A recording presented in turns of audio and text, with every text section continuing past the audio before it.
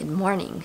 Today I'm going to Utah for a little artist retreat and I'm leaving in like two to three hours. So let's pack. It's gonna be like 20 degrees colder in Utah, so gotta pack all the sweaters. Feel like falling deeper Cold nights 난 너무 싫어 기다리기에는 너무 길어 we have to make sure to pack Donnie's little backpack with his little sock in there. Trains keep running, hearts keep breaking. I keep writing songs about things that are out of my Dude, that's freaking nuts.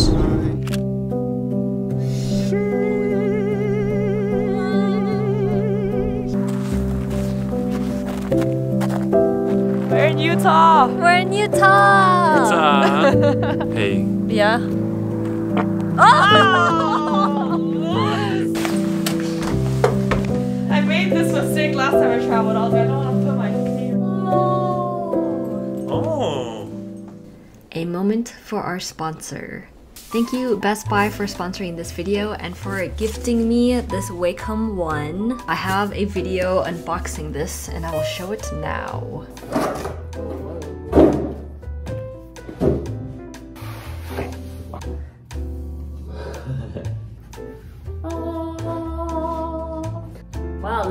Very light. Literally just so I've actually been using Wacom tablets since I was a very, very, very, very young artist, and I think it's great for those that are either starting out to be a creative or they are a professional in the field. When I was applying to a lot of colleges, I really wanted to take things seriously, so my dad actually gifted me my first ever Wacom tablet. I think it makes a great gift because it shows that you actually believe in that young artist and like tell them that they're good enough to make art their career. And even throughout college, I was still using the same tablet that I got in high school, and it carried along with me all the way till I was a working professional.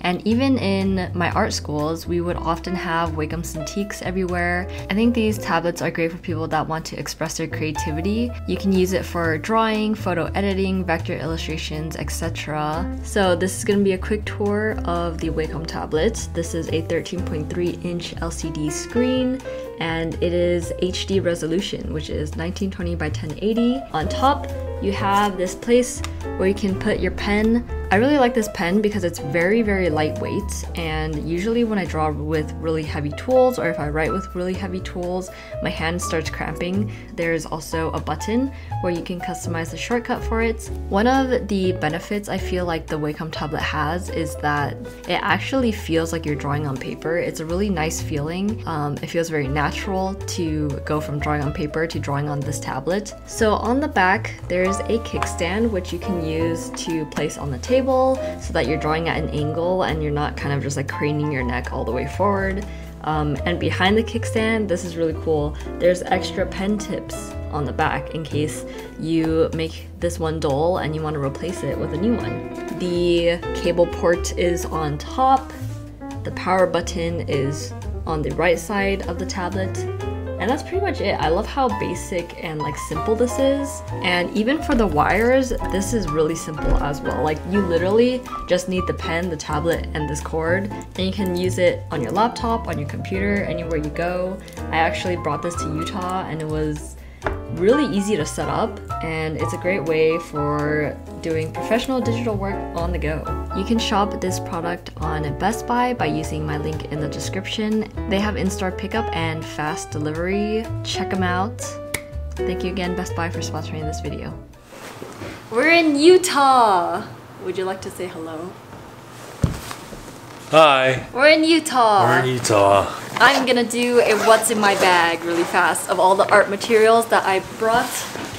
Let me just take out all the life stuff. So I brought my favorite sketchbook. This is my Nina Cosford sketchbook. Um, I like it because it's really good for like markers, color pencils, pencil. So it's good for on-the-go drawing. I brought my MacBook and a Wacom One tablet. I also brought my trusty pouch I got from Taiwan with my Yohand Studio patch. And inside, I have spare batteries, a pencil sharpener that I got from the Getty. I brought three marker colors, um, pink, yellow, and orange. These are from Oh. They're double-sided. One has a fine tip and one has a brush tip. I brought a billion Prismacolor colors. Pretty much all the Prismacolors that I own. Lots of Apple Cheeks colors, I would say. And then some pens. I brought a Pigma FB pen. Cover my face. A Pentel sign pen, which is just like a round tip marker. And this zebra brush pen, felt tip. And I think that's it. I tried to pack light for this trip because we're only gonna be here for a few days. And I'm just trying to make art. I'm putting on my luggage there.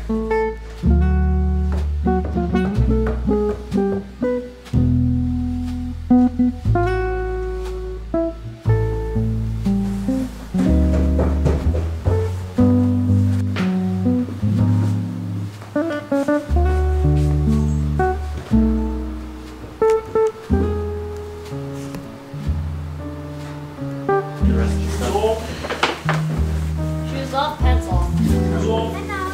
I do have to say it feels less haunted now that there's more people here. It feels a little better. Wait, where? Here you go. I made it in, but I, I queued the. That's, that's a little. That's a little scary. That is pretty scary. We're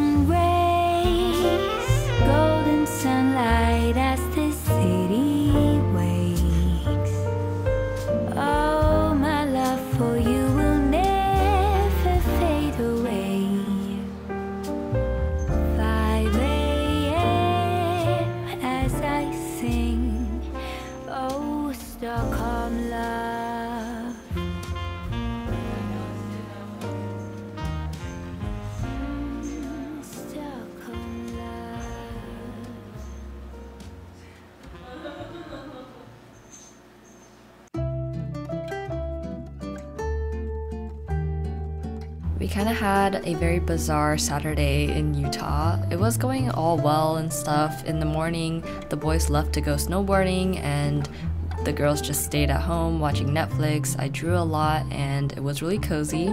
I decided to step out of the cabin to try to play in the ice. I obviously don't know how snow works because I was sliding around all over the place, and whenever I stepped on it, my entire foot would just like sink into the snow. I actually stepped in one spot that made me fall through because it was just empty underneath, and I just got stuck in snow for about three minutes. And I went back inside because I got scared. We immediately got a call from the guys, and they said that they were stuck in the snow, or their car was stuck in the snow, for about two hours now, and they did not have any signal at all. And so that's when we decided to call AAA. They tried to call AAA. But okay, if their car is stuck in the in the snow, we can't. Our cars are not gonna be able to make it. Oh yeah. They're not. We've been stuck for like two hours. What? The girls decided to go out and get pizza so that when the guys came back, they could just eat and we don't have to worry about food. A few hours passed and it was starting to get dark. It was around 4 or 5 p.m. and apparently AAA was nowhere in sight and we haven't heard from them because they lost signal again. So right now we're on a rescue mission to go pick up the boys because they have to get like a snow plow in order to get their car out of the snow and that's gonna come at 6 which means it's gonna be like pitch black. After an hour of no phone service for us or the guys, we were just driving around blindly, not really knowing where they would come out from. And then we finally found some signal at the top of the mountain, and then we located them and drove towards them. Okay, now we're just waiting to see if we can see Lewis's jacket or something. He's wearing like a bright orange jacket. So we hollered their names at the abyss for like the past 10 minutes and heard no reply. And we finally got in contact with them. Yes. As the sun is setting and getting darker. Yeah, it's getting really dark. These little, they are literally like those dots right there. Do you see those dots? That's them. Uh, and then we found them and they look like three tiny little ants walking towards us because they're like all the way inside the woods. Good boy! You're stupid. It was super relieving and we were finally like sure that they're okay. We're waiting for a snowplow to come and rescue them. Um, and then we head back to my car and I try to start it. Dude, it's not. And it was too cold and my car stalled and it had to be jump started. It's a random car. Hey, how's it going? You guys okay? Need help? Can you jumpstart our battery? But luckily enough, we had a truck pass by us and they helped us jumpstart our car. Uh, our car got started, everyone got to warm up, and we brought them some beef jerky. Pretty good combo. Was rolling that emergency food. Mm-hmm. Even though we're not the emergency people. And then we just waited for a different road assist to come save them. There were still two of our friends inside of the car waiting for them to come. And uh, once the roadside assist people came, apparently they have a channel with a million YouTube subscribers and they were like filming the whole thing. It was a very odd experience. Uh, but at the end, we saved the car.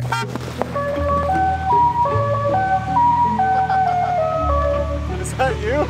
Yeah. and this whole process was like from 10 a.m. all the way till like 7, 8, 9 p.m. It was like late. It was dark outside. So yeah, that's how we spent the rest of our Saturday. Not what we expected to happen, but I'm so glad that everyone is safe and nothing ended up happening to any of them. We packed for the next day and went home.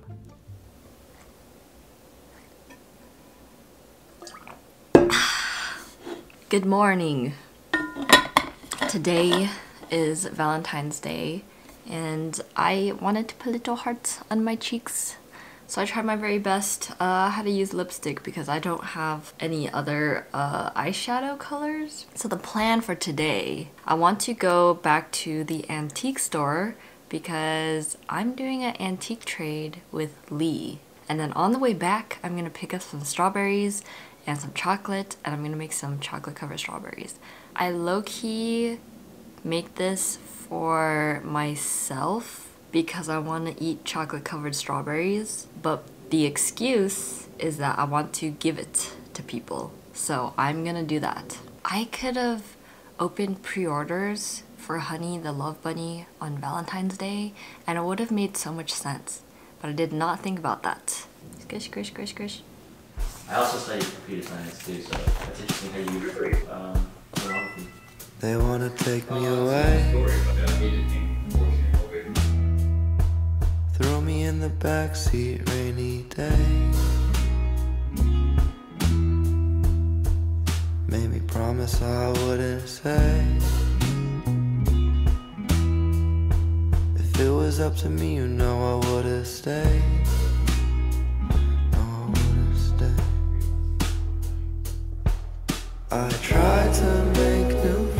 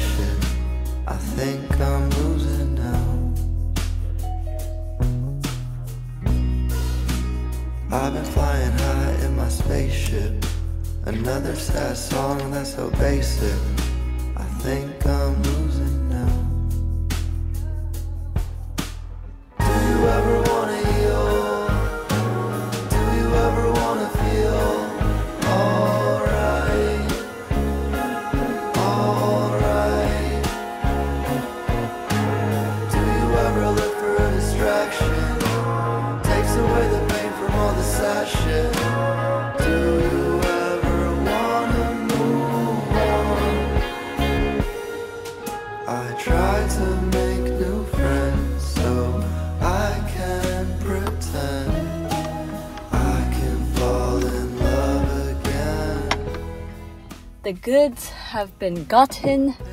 I spent so much time in there. I think I probably spent like an hour and a half or two hours in there. It's really cool how when you vintage shop, even if you're like there a few days ago or a week ago, you go there and then you just notice a lot more things that you haven't seen the previous time just because there's so many things in there. And I got some goodies. I couldn't find the original thing I wanted to get Lee, but I hope she likes the stuff I get her. Oh, maybe because you're in Discord.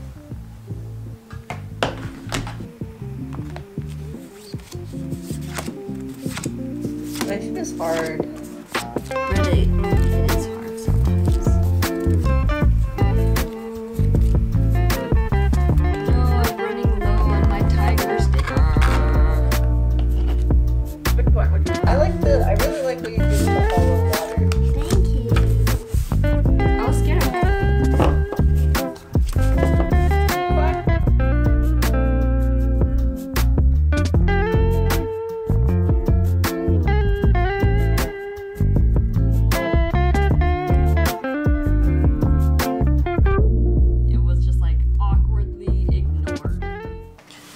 Welcome to Apple Cheeks cooking segment. If I'm gonna have to squat the whole time, I'm gonna have really, really strong thighs. I've already prepared my strawberries, so they're washed. I wiped off all excess water to make sure it doesn't um, separate between the strawberry and the chocolate. And then I have a bowl of dark chocolate. I'm gonna try to just melt it in the microwave and use that. In the past, I remember, I think I used the stove to heat it up. I'm, I'm guessing it's about the same. My chocolate is nice and melted, as you can see. And before it can cool down, I'm gonna just dip it in.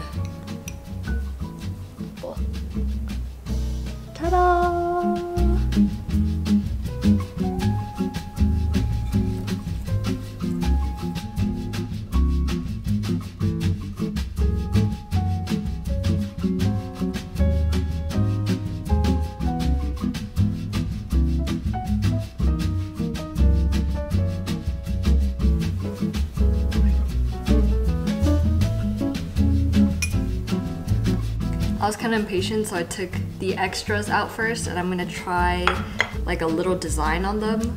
I kind of want to do little faces.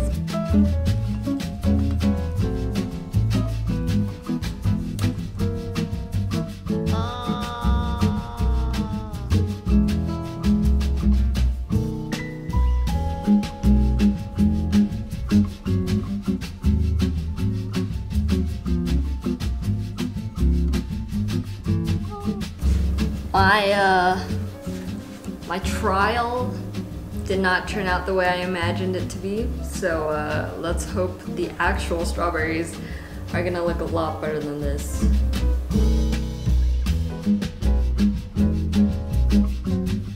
This one is this one is me, and this one is you.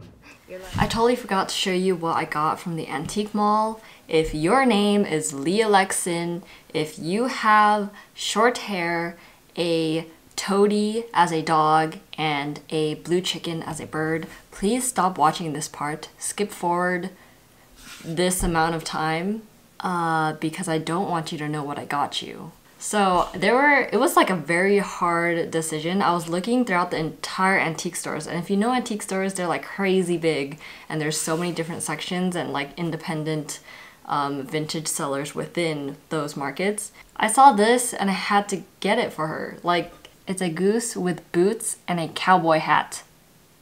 Have you seen anything as cool? It's just so cute. I'm thinking she would like this. I'm thinking she would enjoy this.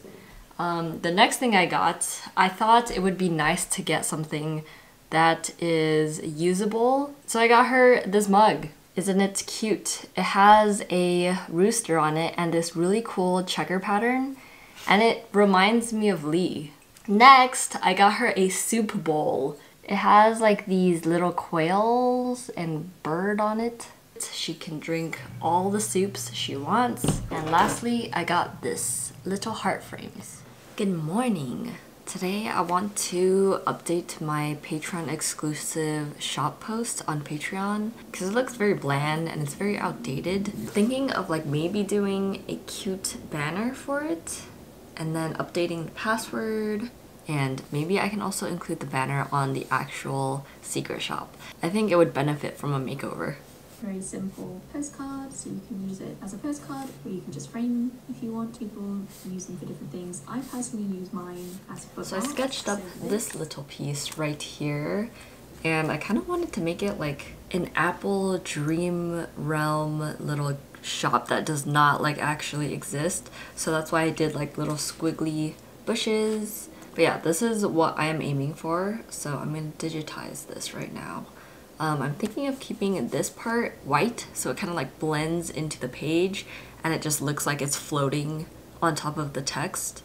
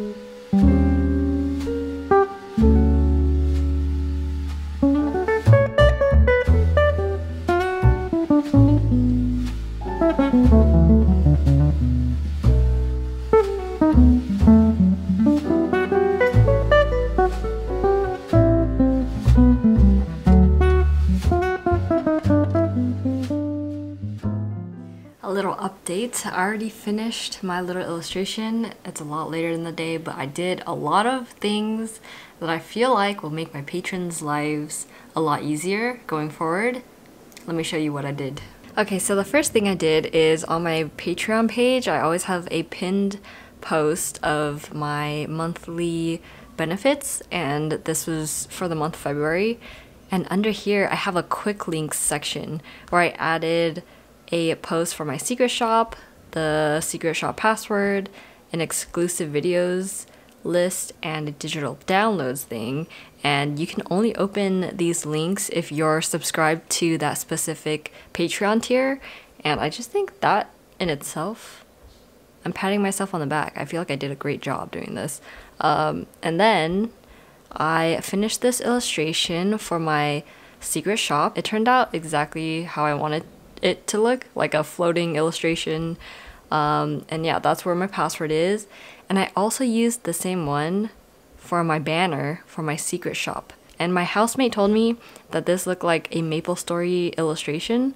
So I wrote on the first line, I wrote, Hi, I'm Straub. I have a collection of little prints and stickers that I've collected from Apple Cheeks' leftovers. Feel free to take a look and trade with me with some coins. So I made him a character. He is the store owner of my secret shop. I'm very proud of the work I've done today. Whenever I finish little things like this that I don't have to do but I know will make me feel very complete on the inside, it makes me feel so good because I love organization, I love customization, and this just makes me feel like a tiny bit more put together um, and I don't have to worry about it for the next like year or so until I want to re-update everything. This is going to be the end of another vlog. Thank you so much for being here and thank you for being so cool. Shout out to my lovely patrons for being so supportive and so chill. Um, I'll catch you in the next one. Bye. Let me show you something really pretty, okay? Do you see that beautiful cast away. of light coming in? Throw me in the backseat rainy day. Made me promise I wouldn't say